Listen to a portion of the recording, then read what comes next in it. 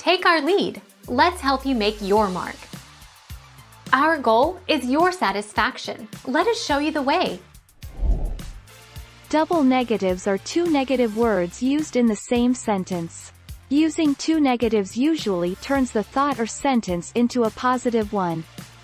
Double negatives are generally discouraged in English because they are considered to be poor grammar and they can be confusing.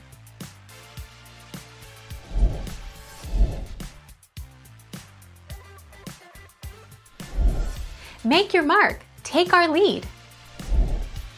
Rule 3. A negative number times a negative number, equals a positive number. Two negatives make a positive, so a negative number times a negative number makes a positive number. Minus 2 by minus 4 are both negative, so we know the answer is going to be positive.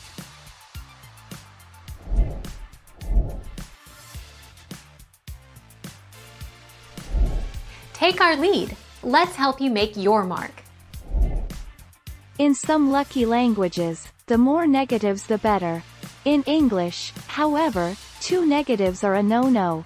Some double negatives are obvious, but here you learn about some of the sneaky double negatives that might be waiting to trip you up.